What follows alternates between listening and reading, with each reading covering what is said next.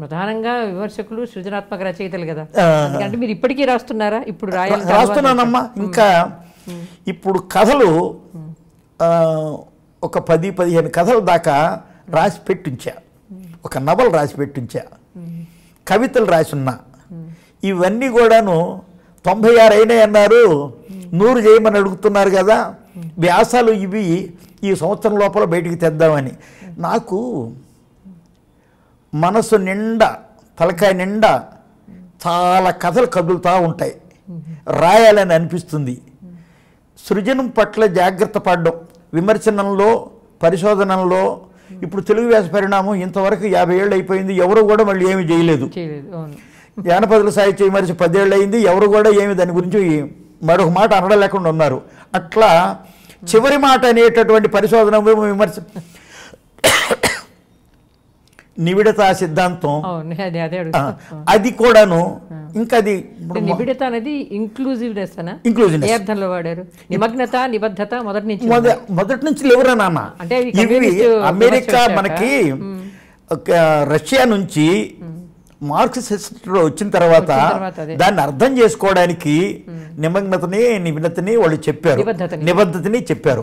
చెబితే అవి రెండు కూడాను సంపూర్ణమైనటువంటి పోస్ట్ మోడర్నిజం అనే దానికి అన్వయించడం కష్టంగా కనిపిస్తూ ఉంది.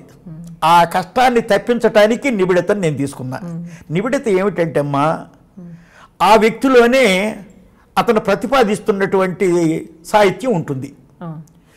అతని మార్క్సిస్ట్ సిద్ధాంతం తీసుకుని నేను రాయడం వేరు. నేనే మార్క్సిస్ట్ అయి రాయడం వేరు. అవి రెండు నా చుట్టే ఉన్నాయి. నాలో ఉన్నది నా దళిత జీవితం నా స్త్రీ జీవితం నేను స్త్రీని స్త్రీ జీవితం నేను గిరిజనుణ్ణి నా నాలోనే ఉంటుంది అది. మన అస్తిత్వానికి సంబంధించిన మనలోనే ఉంటుంది. అయితే జీవిత చరిత్ర ఆటోబయోగ్రఫీ బయోగ్రఫీ కాదు.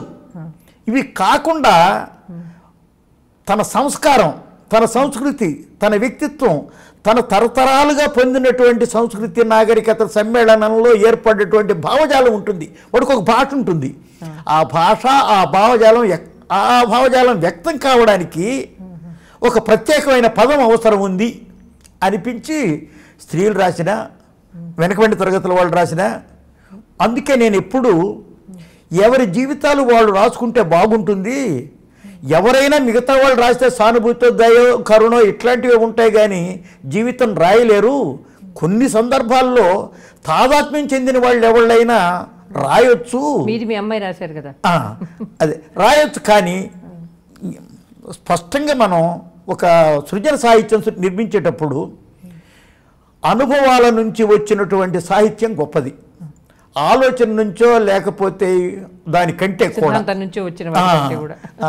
ఆ, దృష్టితో ఈ నిబిడితా సిద్ధాంతం అవసరం. మొన్న కాళేశ్వర శంకరం గారు మనకు ఈ సప్తాహంలో స్వతంత్రమైనటువంటి సిద్ధాంతాన్ని ప్రతిపాదించింది సిఆర్ రెడ్డి గారు కొలకలూరి ఈనాగ్ గారు. ఈ మధ్యలో ఉన్నవన్నీ సంస్కృత అలంకారిక సంప్రదాయాలని వ్యాప్తిలోకి తెచ్చేవో principles of literary criticism Richards నుంచి తెచ్చినవో ఇవి మేనిఫెస్టో అంటే మేనిఫెస్టో రెండింటి సమ్మేళనం.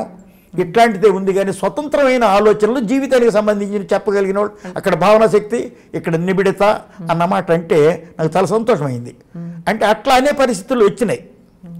ఇప్పుడు కాబట్టి ఇప్పుడు వాటిని మీరు సుస్థిరం చేయడానికి ప్రయత్నిస్తున్నారా? మీరు ఇప్పుడు రాయబోయే వాటిల్లో మీరే ప్రతిపాదించిన సిద్ధాంతాలు ఉన్నాయి లేకపోతే మీకు సొంత మీ అనుభవం నుంచి వచ్చిన అనుభవాల్ని ఇంకా ఊరబా నిబిడత సిద్ధాంతమే. అవును.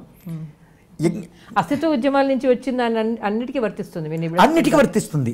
అన్నిటికీ వర్తించ ఇప్పుడు నిమగ్నత నిబద్ధత. నిబద్ధత ఈ రెంటితో అస్తిత్వ ఉద్యాలు మీరు ఉమ్. చాలదు అది.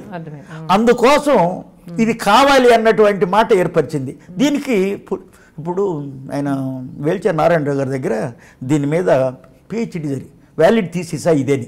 నేను ప్రతిపాదించింది వ్యాలిడ్డా అని అంటూ అంత దూరం కృషి జరుగుతుందంటే ఎంత అద్భుతమైన విషయం అమ్మ.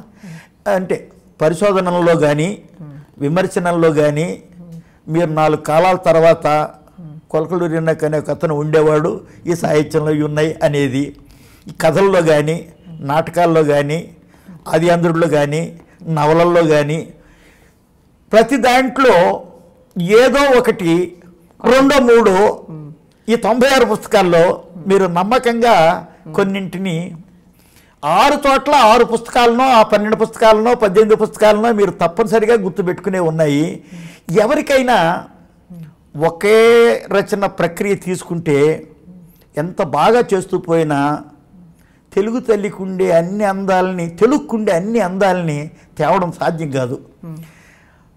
ఆరు రకాల చీరలు కట్టి తల్లిని చూసినట్టు అయింది ఇది. ఇది తర్వాత గొప్ప గొప్ప కవులు కూడా కవిత్వం కాని దాన్ని కూడాను కవిత్వంలో రాయవలసిన పరిస్థితులు వస్తాయి. దాన్ని నాటకంగానో కవిత్వంగానో రాయాలి కథగానో రాయాలి. అటువంటి ఇబ్బందులు లేకుండా ఉండడం కోసం ఇన్ని ప్రక్రియలు ఇబ్బంది ఎక్కడొస్తుందంటే ఒక్కొక్క ప్ర- ప్రక్రియకి ఒక్కొక్క విధానం రచన విధానం ఉంటుంది. ఆ రైల్లో నుంచి ఈ రైల్లోకి రావడము అది కొద్దిగా ట్రాక్ మారడం ఇబ్బంది అవుతుంది కానీ ఒకసారి ట్రాక్ వచ్చిన తర్వాత ప్రక్రియ స్వరూపాన్ని అర్థం చేసుకుంటే కనుక మీరు చేసుకున్నారు కాబట్టి ఇన్ని అదే. విజయవంతంగా రాయగలిగారు. హ్మ్? హా చెప్పవే. ఏ డ్రెస్ ఏంటి? వైట్ డ్రెస్ అని అనుకున్నాంగా? హ్మ్?